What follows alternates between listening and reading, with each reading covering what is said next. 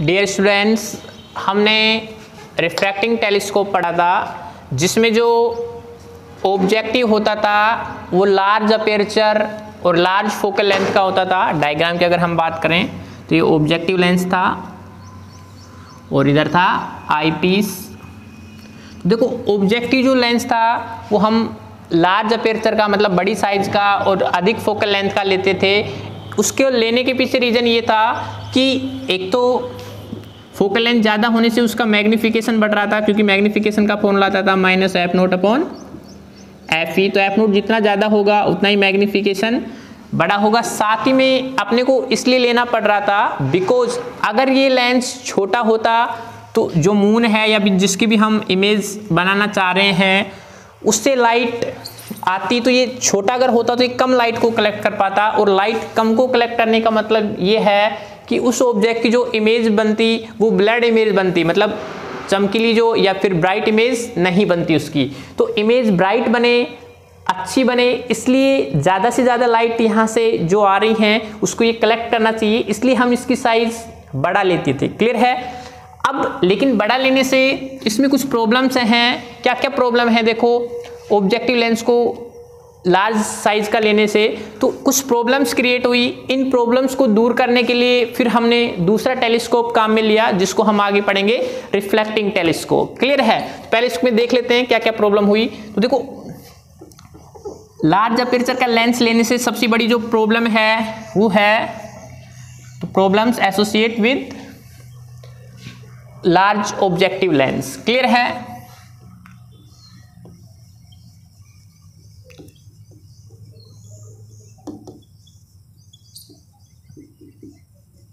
Objective lens या फिर large objective lens देखो क्या क्या प्रॉब्लम्स थी?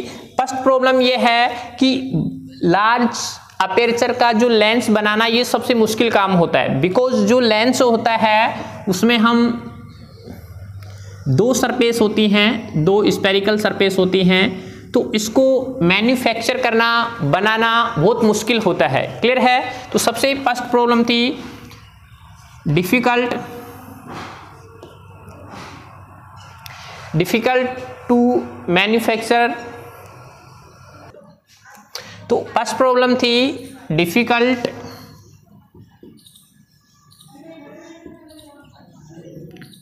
टू मैन्युफैक्चर मतलब इसको बनाना मुश्किल था, काफ़ी दिक्कत आती है। बड़ा लेंस बनाने में। तो फ़र्स्ट प्रॉब्लम ये थी। सेकंड प्रॉब्लम थी कि लेंस जो होता है, वो काफ़ी कॉस्टली होता है, महँगा होता है। क्लियर है? थर्ड प्रॉब्लम थी इसमें। अब बड़ा लेंस अगर हम बना भी लें तो उसको जब उस ट्यूब में लगाते हैं तो उसको लगाना भी काफ़ी मुश्किल होगा, क्योंकि एक तो बहुत हैवी हो जाता है, भारी होता है लेंस तो थर्ड प्रॉब्लम थी difficult to to be held mechanically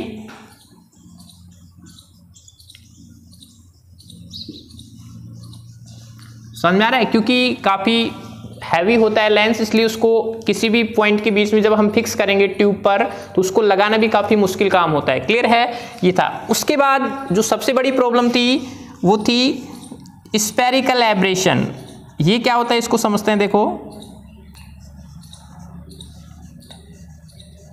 aberration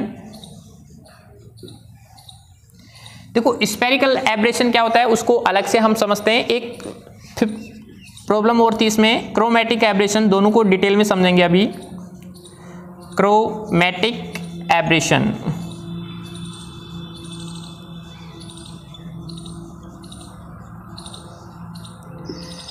पहले तो एब्रेशन का मतलब होता है डिफ़ॉल्ट या फिर उसमें दोष कहें क्लियर है? तो क्या होता है? स्पेरिकल एब्रेशन उसको समझते हैं, देखो। तो ये पाँच डिफिकल्टी थी। लार्ज ऑब्जेक्टिव लेने से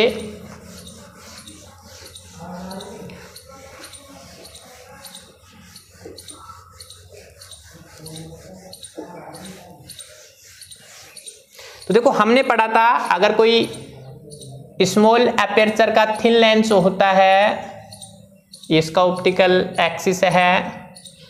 तो प्रिंसिपल एक्सिस के पैरेलल जब भी लाइट रेज आती थी तो वो फोकस पे कन्वर्ज होती थी। क्लियर है? ये तो था आइडियल केस। आइडियल केस का मतलब ये है कि जो अपेरचर है लेंस का, वो स्मॉल होना चाहिए और लेंस थिक होना चाहिए। लेकिन इस टेलीस्कोप में हम जो लेंस यूज़ कर रहे थे, वो लेंस जो था, वो लार्ज लेंस था और उसकी जो फोकल लेंथ थी, वो भी ज़्यादा थी। तो उस केस में क्या होता है देखो, अगर लेंस बड़ा होता है तो उस केस में क्या प्रॉब्लम होती है उसको समझते हैं। तो ये लेंस अगर बड़ा है तो ये लाइट रेज जो प्रिंसिपल एक्सिस के या ऑप्टिकल एक्सिस के पास में होती हैं उनको तो हम कहते थे पैरा एक्सियल रेज। क्लियर है? Paraxial rays.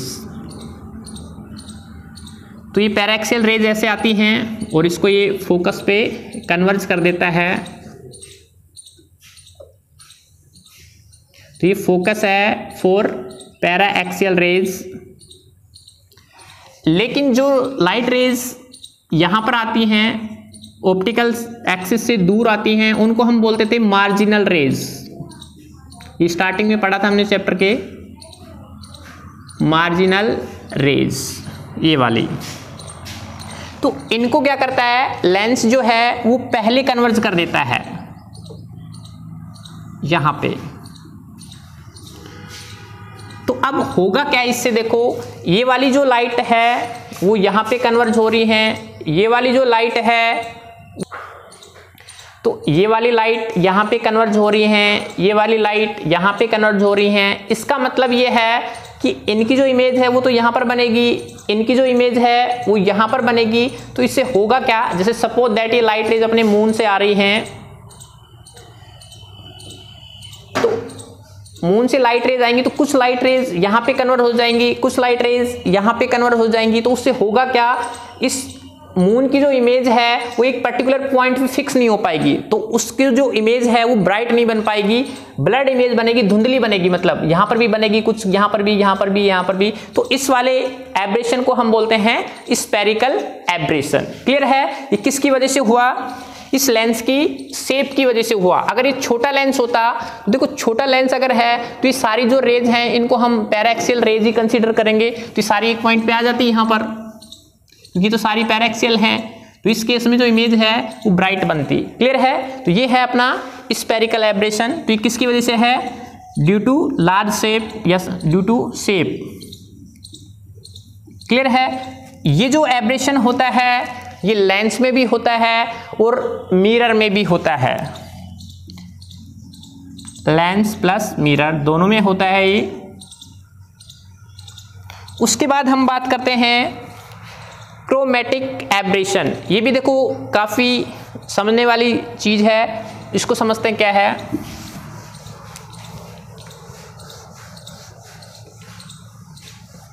इसको नोट करते रहना इन चीज़ों को।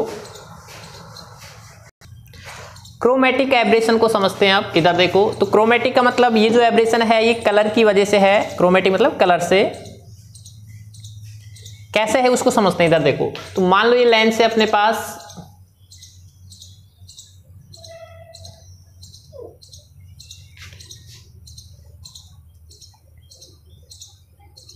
इस लेंस से, इस लेंस पर वाइट लाइट आ रही है ऐसे।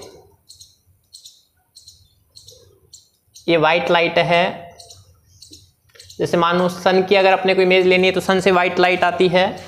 और वाइट लाइट जो होती है, उसमें सेवन कलर होते हैं, जिसको हमने पढ़ा था विबग्योर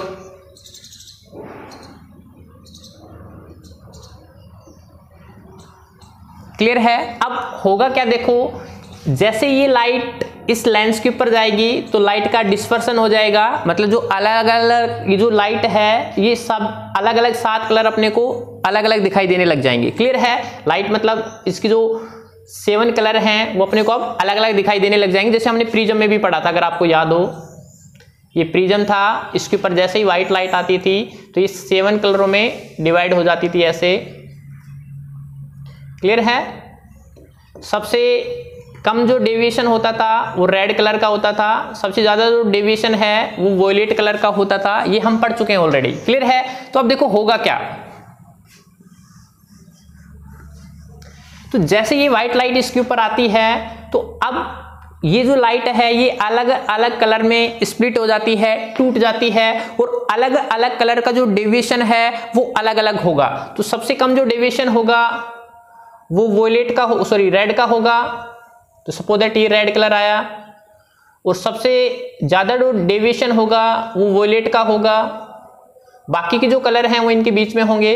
तो अब होगा क्या? देखो इस केस में, अगर मान लो यहाँ पर ये रेड सॉरी ये वाइट लाइट है मून तो उसकी जो इमेज बनेगी, यहाँ पे वो रेड दिखेगी, यहाँ पे वोलेट दिखेगी, यहाँ पे बाकी के जो कलर हैं, वो दिखेगी। तो कहने का मतलब ये है, वो ऑब्जेक्ट अपना जो वाइट था, वो अब अपने को क्लियर वाइट नहीं दिख पाएगा। तो इस केस में भी जो इमेज बनती है, वो ब्लड इमेज बनती है क्लियर है? तो इस एब्रेशन को हम बोलते हैं क्रोमेटिक एब्रेशन ये जो एब्रेशन होता है, ये केवल लेंस में होता है। ये मिरर में नहीं होता है। मिरर में क्यों नहीं होता? इधर देखो। ये मान लो मिरर है। तो मिरर में लाइट आती है तो वो वापस उधर ही चली जाती है उसका।